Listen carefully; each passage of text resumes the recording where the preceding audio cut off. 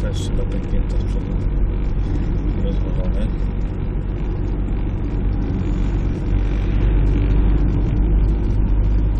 Tutaj nie możesz go wyprzedzić? Nie mogę, bo z przodu zakręt jest nie widzę.